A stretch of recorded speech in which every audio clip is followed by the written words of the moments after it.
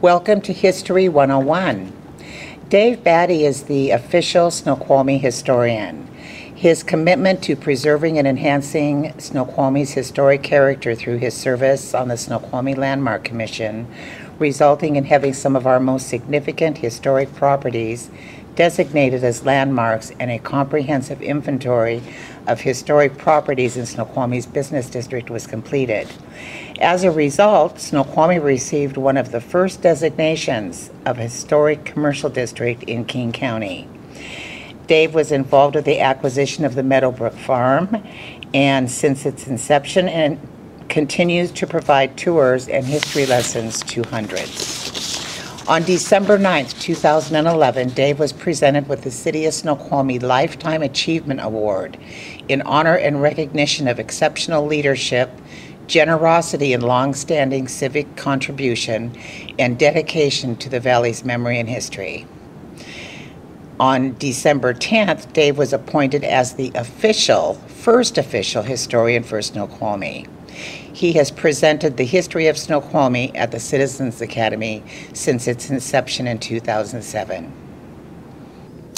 This is a brief history of the city of Snoqualmie, Washington, 98065, and the missing mill town of Snoqualmie Falls, Washington, 98066 and the annexation of the little town of Meadowbrook into Snoqualmie.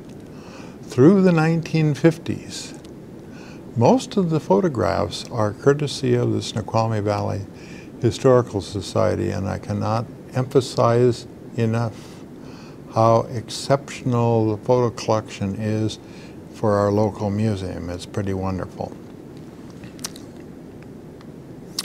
We had serious cataclysmic beginnings in this valley.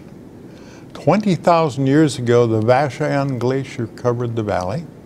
Between 15 and 18,000 years ago, the Vashon Glacier advanced and retreated multiple times. Each advance created a gravel dam blocking the middle fork of the Snoqualmie and forming a vast lake. Each time the lake breached the gravel barrier, water carrying masses of rock and aggregate rushed in to fill the upper Snoqualmie Valley. Snoqualmie Falls was formed by the Vashon Glacier. Multiple bursting of the gravel dam filled our valley with gravel and boulders. The glaciers paused to create Snoqualmie Falls where the gravel dam pushed the river over onto bedrock and when the glacier finally receded the river was unable to cut through the rock and Snoqualmie Falls was formed. The valley filled with gravel is a giant untapped aquifer, a water supply for the future of the Puget Sound area. Should mention that our valley is not V-shaped as if it were cut by a river. It's not U-shaped as if it were cut by a glacier. It goes down and is flat because it was full, filled with all of this gravel.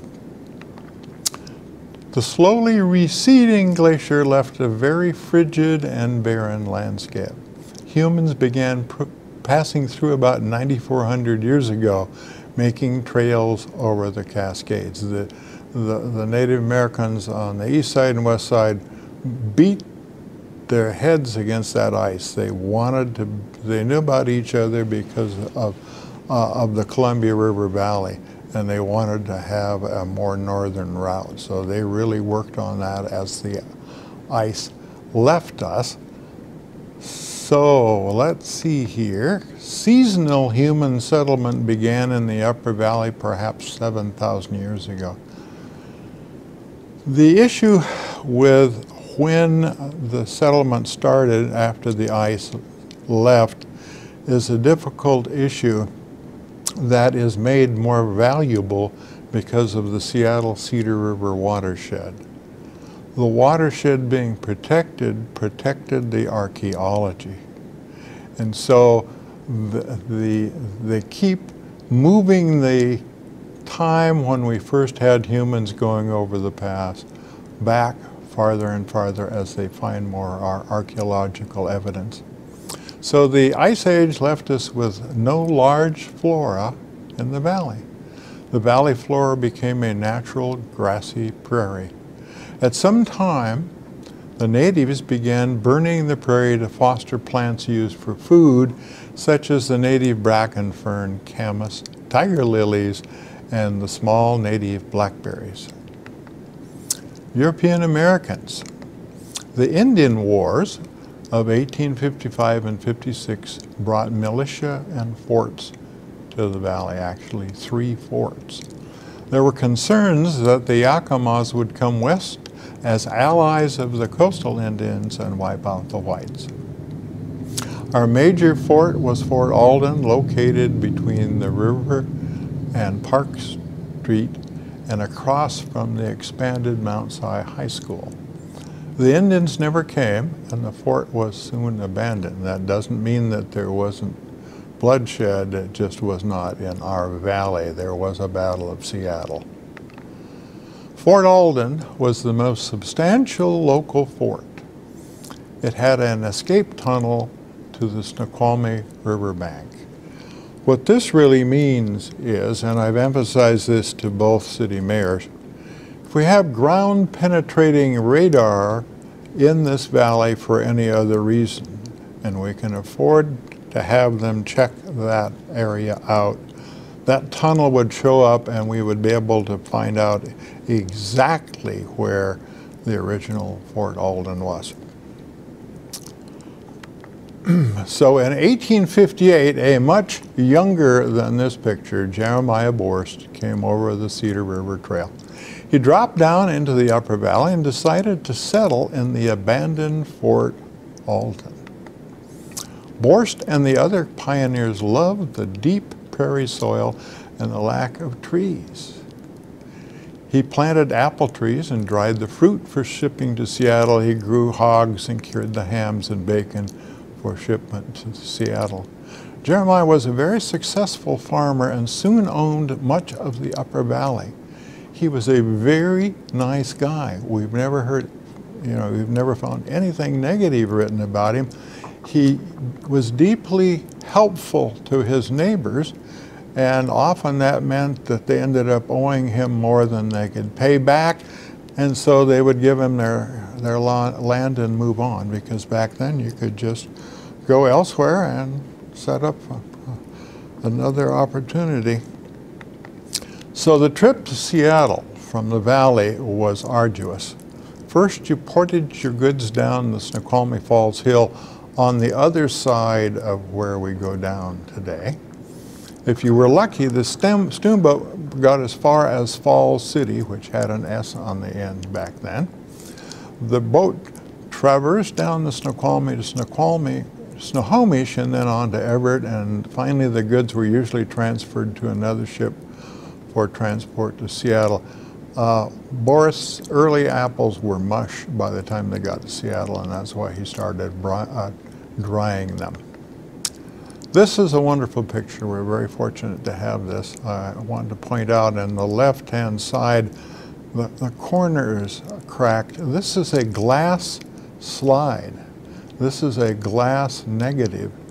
And uh, we're very fortunate to have this wonderful little steamboat alki on the Snoqualmie River near Falls City. Snoqualmie Hop Ranch and Meadowbrook Farm. In 1882, Borst sold much of his land to the Hop Growers Association. The principals were Captain George W. Gove on the left, Richard Jeffs on the right, and D.K. Baxter. And if you ever run into a picture of D.K., we would love to add him. The Snoqualmie Hop Ranch was soon built as the largest hop ranch in the world. John Muir visited and wrote about hops Snoqualmie Falls and our valley in 1889. Hops were not just king in Snoqualmie Valley, but in much of western Washington. The boom lasted about 15 years until the world market fell due to overproduction and an aphid infestation damaged quality. This wonderful artist's rendition is the Snoqualmie Valley in 1889. Now, we had uh, dated this long before I finally found the original in a book in the, in the Seattle Public Library. Um, we were able to date it as 1889 because in the background there is the railroad. And the railroad came to the valley in 1889. And it says Washington Territory, and Washington Territory became Washington State in 1889. Uh, in the lower right, there's um, a, a mill, and that's actually a steam-driven mill. And that big barn on the left is the horse barn for the horses that were used to do the farming. Hops still grow in Meadowbrook Farm fence rows. Native American hop pickers came from as far away as the Fraser River in Canada. Only silver dollars were acceptable by the Native Americans as payment. As many as 2,000 pickers were needed each year, about 1,200 Native Americans and 800 uh, others. The Indians camped on the island defined by the circular slough near the Mount Si Golf Course that includes today's off-leash dog park. Native American hop pickers and Robert Terhune. Robert there in the middle was a, um, a manager, a hop ranch manager. Uh, this is, we're very fortunate. There's lots of hop picking pictures from Western Washington. But most of the ones from Snoqualmie are easily identified as Snoqualmie because back there, can you see Mount Si in the background? Yep, they did that a lot with the pictures. Uh, Darius Kinsey photo of hop fields. This, this field, if uh, I, I, you know, check this out, this is really kind of where Snoqualmie Elementary School stands today. Snoqualmie Hop Pickers by Darius Kinsey. This is probably the most famous Native American hop picking picture in, um, in Washington history.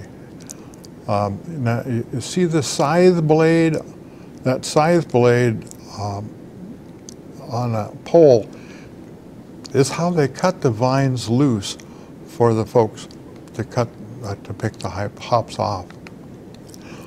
First school met in a hop ranch building.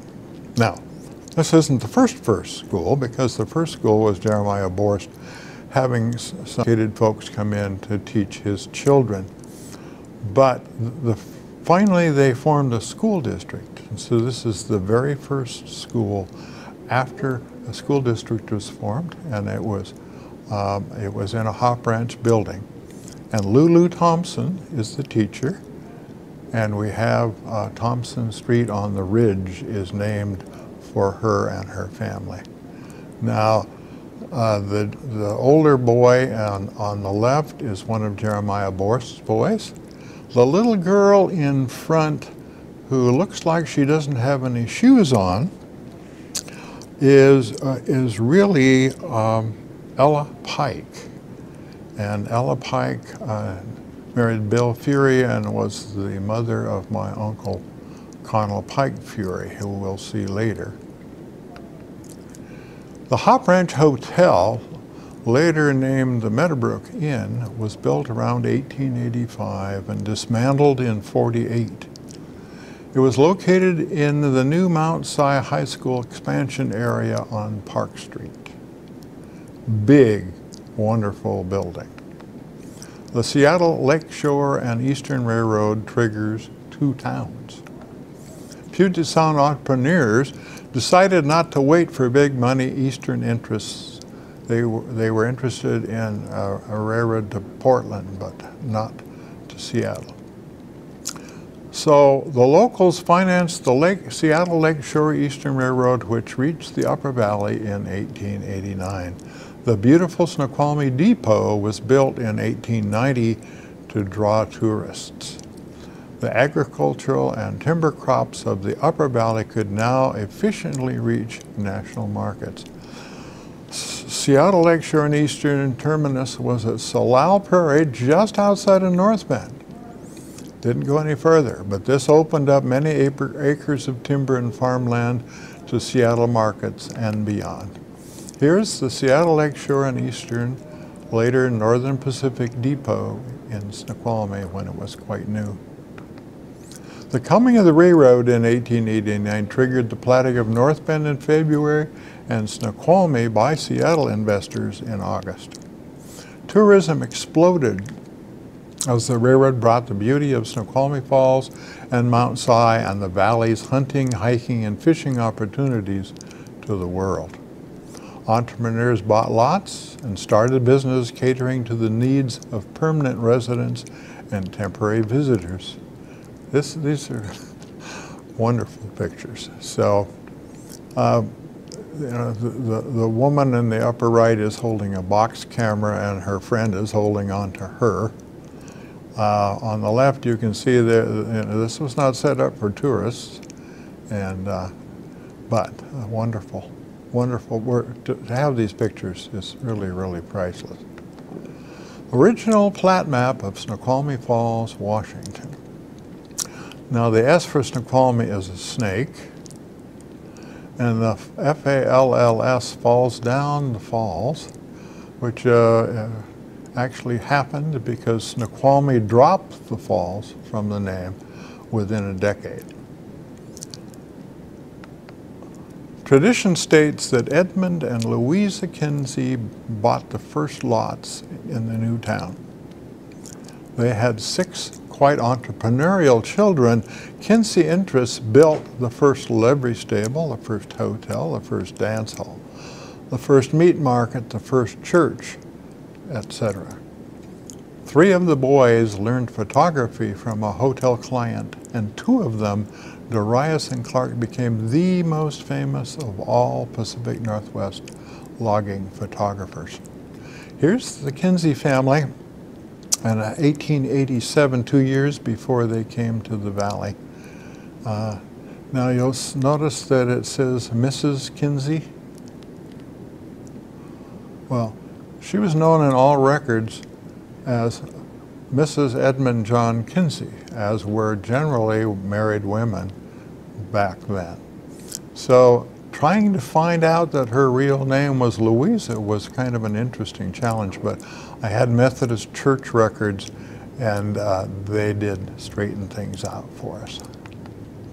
This is the first known photograph of downtown Snoqualmie. And that's a puncheon road there. And uh, that, that split cedar that you put down in the mud so that you didn't sink in.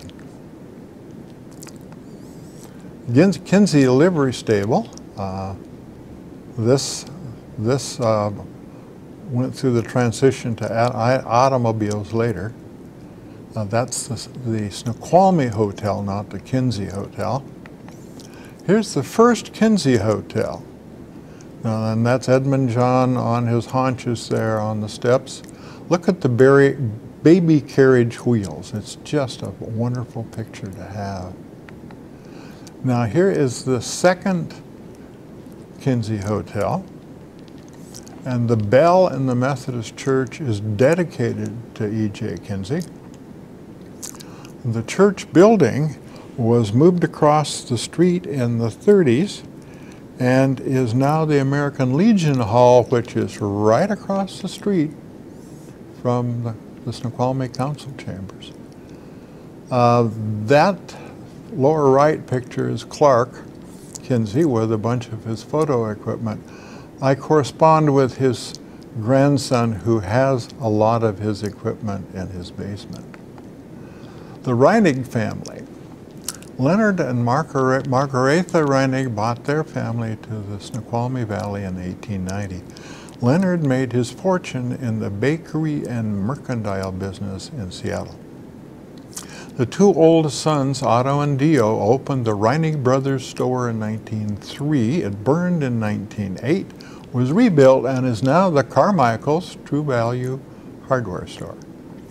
Otto Reinig was mayor of Snoqualmie from 1905 to 1915 and postmaster for 31 years. Here's the Reinig family. Um, so Eddie is the uh, youngest one there. He was quite a genius and at a very early age was managing the Seattle City Light power plant uh, up on Cedar River. So, uh, but he died young. But uh, the back there are Otto and Dio. So, the first Reinig Brothers store on the left, the rebuilt store after the fire on the right, the original store lower left, um, and and that magnolia that uh, many of you from Snoqualmie would recognize was the mini Reinig magnolia. She and Otto had a had a, uh, a house right where that magnolia is. 1903, Snoqualmie incorporates. The new little town of Snoqualmie was hit very hard by the national recession of 1893. As a matter of fact, that's the, the recession that, that killed the Seattle Lakeshore and Eastern Railroad and Northern Pacific picked them up. Then soon after, the hops market collapsed but the town struggled on against the $300 price originally placed on lots in 1889. To bypass paying the unreasonable price of a lot, barns, homes, and outdoor houses, orchards, businesses, etc., were built in the public street access. Finally, the Seattle investors who had platted the town dropped the lot price to $45 and slowly, people bought the lots adjacent to their structures and moved their structures out of the streets. Now, today, in, in the older part of Snoqualmie, there's lot line issues with folks' eaves going over their lot lines and things like that, based on this challenge. Finally, in 1903, the town voted to incorporate under the laws of the state of Washington. The highest paid public official was the sheriff, who was expected to do everything. He built railroad crossings, bridge railings, sidewalks, upheld the laws, buried dead calves, collected the poll tax, worked all male prisoners every day, attended the needs of families under quarantine, and notified folks when their water closets were not in a sanitary condition. The job of the sheriff was so challenging that in spite of the high pay, it changed hands 12 times from 1903 until 1910. And then the town, full of hard living, hard drinking loggers and heavily dependent on saloon tax revenues, voted to go dry. Uh, not for very long. They really needed those revenues from the saloons. Now, how do I know all of this? I, I had a good friend for, for the uh, 1990 flood. She was helping the city of Seattle clean up some down, downtown buildings. There was an older book um, on the floor open uh, in the water, which was only about an eighth of an inch deep. And uh, the workmen were going to throw this book in the dumpster. And she said, I have a friend, Dave Battey, who might be interested in that book. It was the original minutes book for Snoqualmie from 1903, including the very first uh, council meeting through 1914. Meadowbrook. After the hop market crashed around 1900, the hop ranch land was owned by H. Dutard, the, pea, the bean and wheat king from Sacramento, California. Uh, he actually was the last treasurer of the hop ranch and loaned them money, and that's how he ended up with the farm. Dutard ran the farm under the name Snoqualmie Ranch. He sold out to Chamberlain and Hamilton, who renamed it Meadowbrook Farm. Their primary crop was potatoes, and in 1904, Arthur William Pratt purchased the farm and appointed Angus J. Moffat as manager. So starting in 1904, Meadowbrook Farm was primarily a dairy operation. Kind of fun to have a, a color picture, an older color picture with the cows. Hop poles were reused as cattle fencing. Uh, the category collection issue, um, in the 1930s, the manager of Meadowbrook Farms house in the little town of Meadowbrook burned. With it went the photo collection of Meadowbrook Farm. So we've been trying to collect, and, and a Japanese family in California whose grandfather was a milker in this dairy um, had these pictures and sent them to us. There were six large dairy barns and one horse barn on Meadowbrook Farm, and now all of them are gone. There's a move-through under SR 202 to connect the main pasture with one of the barns. Dairy-related businesses sprung up in the area where the original Fort Alden brought Jeremiah Borst to the valley. And in 1923, Arthur William Pratt, and his wife Dora platted the town of Meadowbrook, now part of Snoqualmie. Meadowbrook teams, horse barn, and equipment April 12, 1911. So this is, that big barn is the horse barn. All the other barns were uh, dairy barns. It's located uh, in, the, in the former trailer park area between Meadowbrook Way and Park Street. So it's really right across from the uh, expanded Mount Si High. Town of Meadowbrook aerial about 1943. Uh, this is kind of wonderful if you notice how many clotheslines are out with clothes on them because homes did not have dryers in 43. Meadowbrook Barn on SR 202 at Swing Rock. Now, if you are on 202 between Snoqualmie and North Bend, about halfway on your right-hand side, uh, you'll see Swing Rock or what's left of it. And in the blackberries there, you would find that concrete foundation for that big barn is still there, as well as a huge foundation for a huge silo that was on the far end.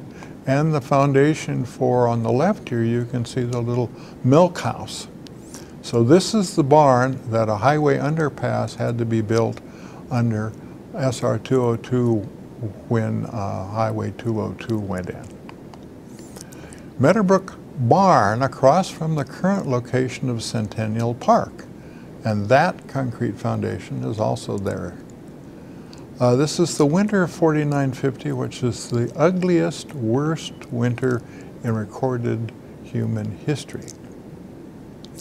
Now, Meadowbrook was unincorporated. It didn't have any money. So the uh, folks took up a collection to get a, a, a bulldozer driver to clear their streets. Meadowbrook condensed milk Kempting. And we don't have any clue where this particular building was. Meadowbrook Creamery, and we don't have a clue. This is a category photo, by the way. We don't have a clue uh, where this building was. Angus Moffat managed Meadowbrook Farm for A.W. Pratt for almost 40 years, retiring in 1943. The farm workers were fed in the brick building now known as the Colonial Apartments at Meadowbrook Way uh, and Park Street. Uh, many of the, the workers bunked in the Hop Ranch Hotel. Other crops were raised on the farm such as beans, corn, peas, and broccoli. For some years, a local cannery thrived. So can you get more local than Tokul brand? So this is the Meadowbrook uh, label.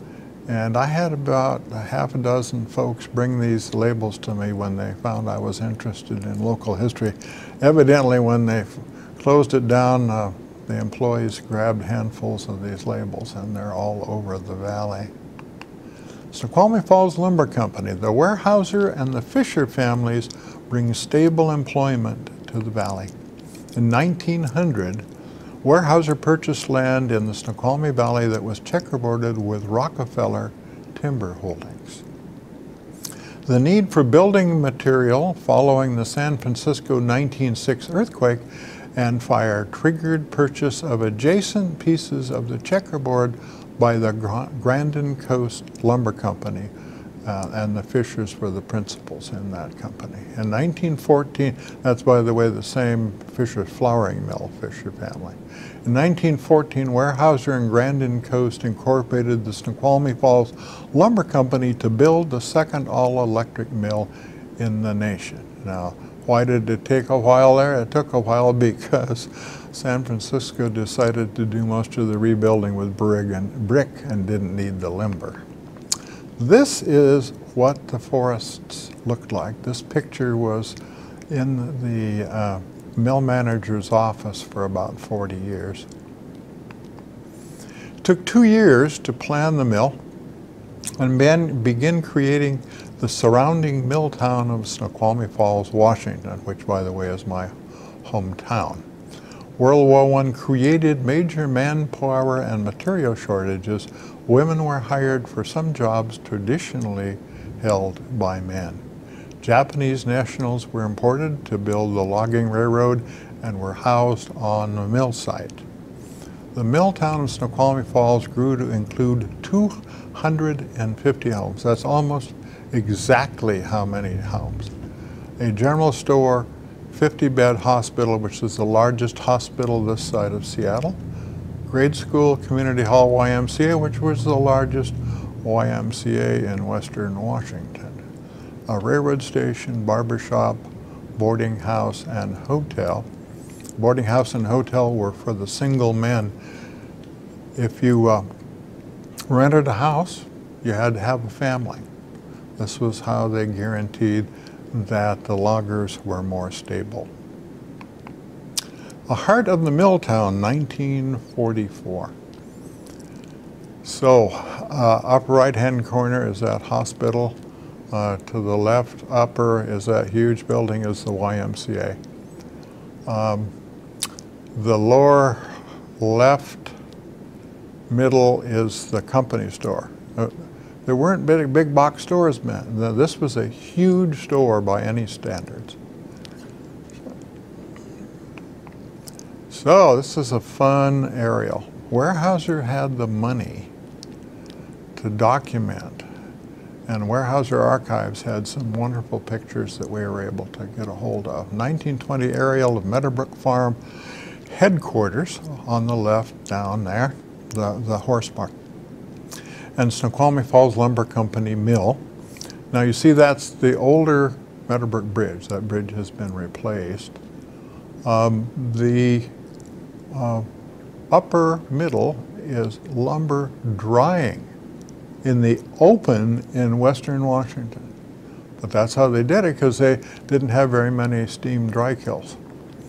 Now you notice that they had cut all of the timber off of the island in the middle of the mill pond.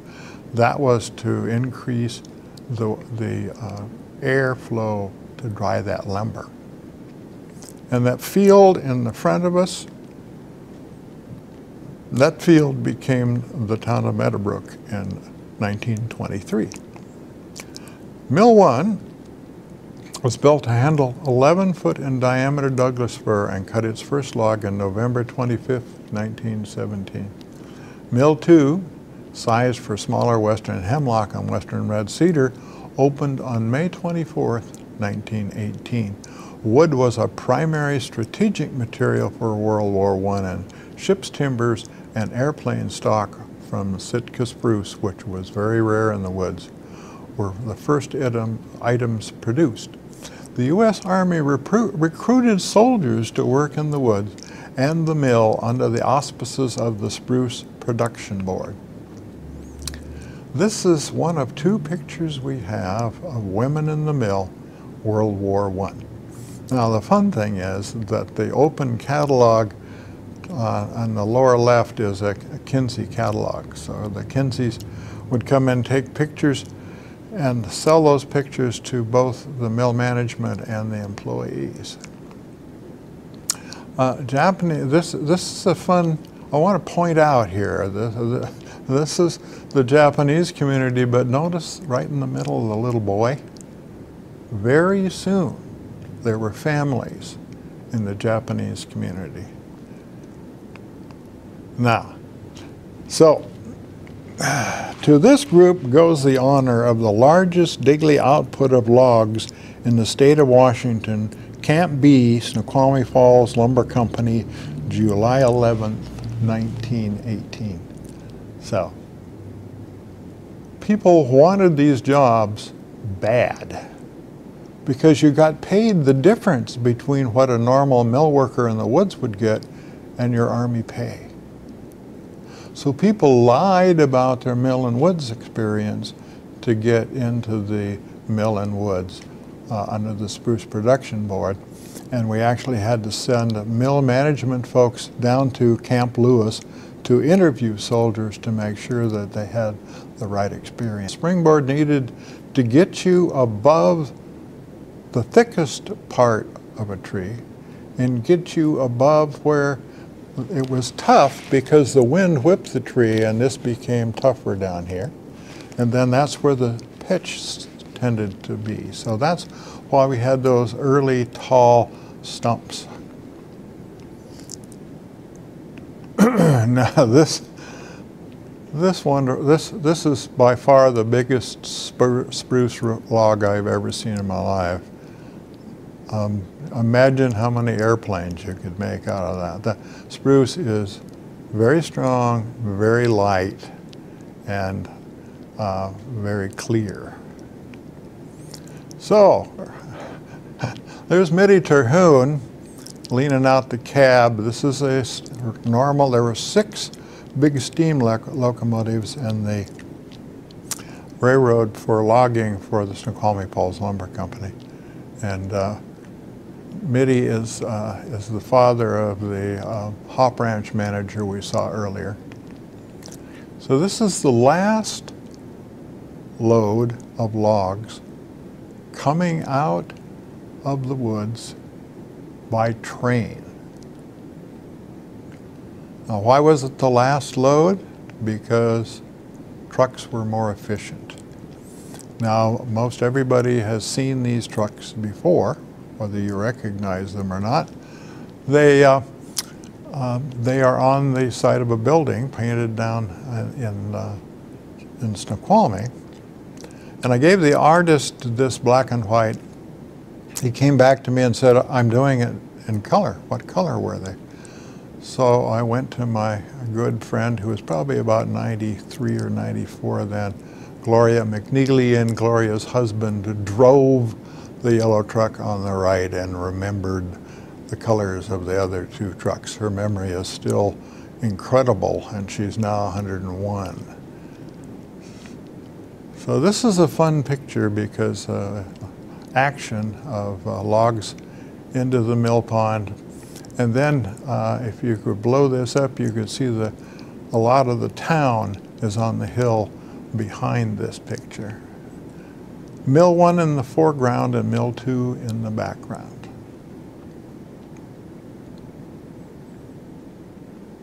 Now, the burner went away in 46 and the second stack on the right was built in 44. Knowing these things, it uh, makes it easier to date some of these pictures. Oh, th this is wonderful, and at schools, the kids just love this picture.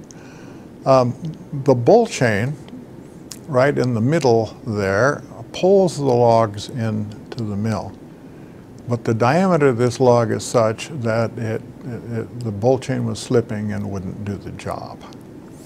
So these folks are not attempting to push that log into the mill like it looks they are. It, they're going to put that wire rope around the end of the log and hook it to the bull chain in the mill and that will then pull the log in.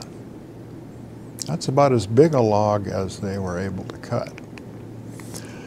Here's a 10 foot 6 on an 11 foot bandsaw. Uh, this is prior to hard hats. Notice the saw um, is that dark black band between the two gentlemen on the right. That's the actual band saw. Here is a 1919 picture of that bandsaw. So there's a huge mill wheel up there and another one below the floor. One of those mill wheels, uh, perhaps this one, is on display at River and Railroad in downtown Snoqualmie.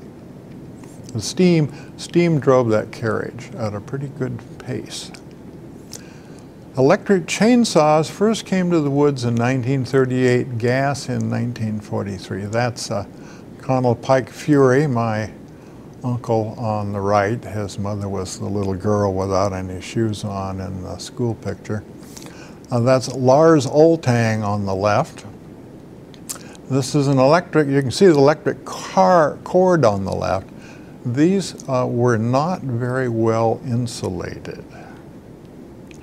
So you got shocked when you were using them. Not, you know, nothing dangerous, but uh, maybe a little uncomfortable. Mill number one burner was no longer needed in 1946. The entire valley was on the hill above the mill watching this get blasted. It was a big deal. The town of Snoqualmie Falls disappears. My hometown disappears. By the mid 1950s, the need for the company, a company town had diminished considerably. People had their own automobiles. The reason for building the town in the first place was that the common individual did not have an automobile to bring themselves to work.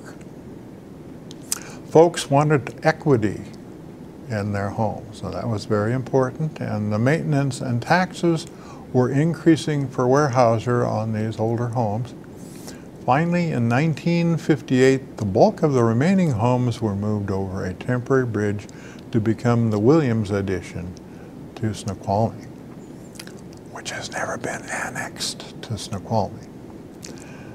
Um, the mill continued on as the primary employer for the Snoqualmie Valley, and in fact, a huge plywood plant was opened at Snoqualmie in 1959. I was 19, but I was inter- interested enough in local history and living in Seattle, but I bought the Valley Record that, that they put out to uh, announce the opening of the plywood plant. It was a Valley Record rolled up this big, as big as a Seattle Times Sunday newspaper back then, full of the history of the valley and the mill. The town of Snoqualmie Falls moves to the Williams Addition in Snoqualmie, 1958, over a temporary bridge. So if you go down on uh, River Street uh, past the uh, hardware store to the river, that's where this bridge was. Now it's fascinating. People left their, their, material goods in the houses. So they jacked the house up, put it on the truck, took it and its front furnishings over and plopped it down in the new lot. So, uh, except that there are wonderful stories about people nailing the, the console black and white TVs to the floor to make sure they wouldn't get hurt. The teens in World War I. So we're out of uh, the uh, mill story down looking at the town again. Pre-World War I, Snoqualmie was a quiet town in transition. The Meadowbrook Farm dairy operation did not create the job opportunities or require the seasonal influx of employees, of workers that the hop ranch had needed. Logging was increasing, but there were no large mills, and valley logs were generally processed elsewhere, including being successfully sent over Snoqualmie Falls and picked up below the falls and taken down to mills lower. But World War I and the new Snoqualmie Falls Lumber Company mill finally brought prosperity. First, cars in town. So Cy Summers won. This was a little contest. I had a, a, uh, a group of uh, older church members for a church history committee for five years. And these folks were full of pictures and magic stuff. And so they had a little challenge over who the very first person to have a car in the town of Snoqualmie was, and Cy won, and Otto Reinig was uh, second. The Methodist Church, the Kinsey Homes, and the Vaughn School 1910. So the current Methodist Church is on that same footprint, although it's not the same building. Uh, the Vaughn School, it's a crazy issue.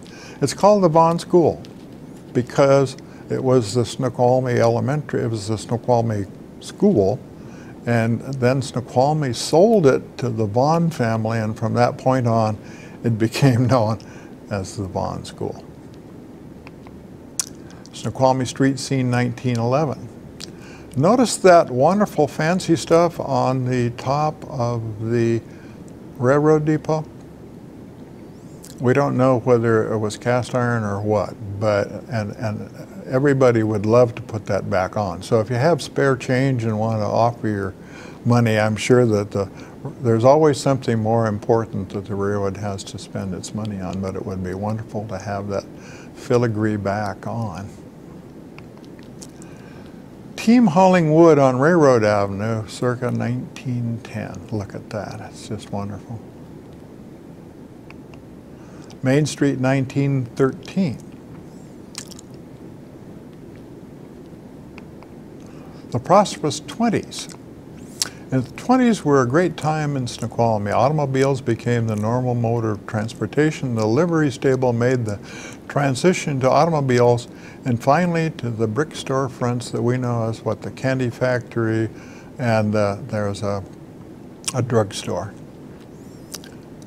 A few brick bank, the, the new brick bank building was built in 1923 at the Snoqualmie Falls Lumber Company Mill, a new community hall YMCA was dedicated and a sustained yield policy guaranteed the forests would be replenished after harvest. This was incredibly forward looking, very early for that to be done. The town of Meadowbrook was platted. The Brook Theater opened in Meadowbrook in 1923 and transitioned to talkies in 1929. And then the Great Depression hit. Main Street in 29.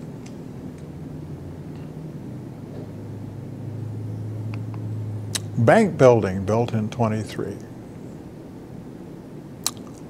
Became the headquarters for Washington State Bank that a, a local banker owned seven banks on the east side, including Bellevue. Tana Meadowbrook, the Brook Theater, and the H.K. Allman Drugstore. So now all of you folks on the ridge know where the Allman street name came from. So he was the druggist in um, Meadowbrook, and he lost a daughter to polio we had some polio issues. The 1930s were tough times in the valley. The SR-202 bridge at Snoqualmie Falls wooden pilings burned and it fell into the river on December 14, 1933. Why is this a big deal? It's as if we lost a major bridge on I-90. This 202 through Snoqualmie was the major northern tier east-west highway in the United States. So the bypass was to, to use Mill Pond Road, which was flooding. So it was a tough time. Movie ticket sales dropped, the lowest being sales being in 1932. I know this because I ended up with the corporate books of that theater and was able to map all of the, the ticket sales and, and I could prove that the worst um, year for the valley for the Great Depression was 32. Silent movie theaters closed in Snoqualmie and North Bend. At Snoqualmie Falls Lumber Company Mill, mill workers went to a four-day work week with a 10% cut in wages, 12.5% for management the mill managed to stay on, open. Then World War II came to Europe and mill production picked up for the war effort. Oh, this is priceless. This is the 20 millionth Ford that ever came off the production line. So Henry Ford was not just a good engineer, he was, a, uh, he was a classic PR man. And so the 20 millionth Ford went all over the United States and there was a big Ford dealer right across the street from the Methodist Church. Now that That Methodist church went through a fire in 39, but the current one is on the same uh, footprint, so you can tell where this picture was taken. Oil truck hits bridge on December 14, 1933. Wooden pilings burned.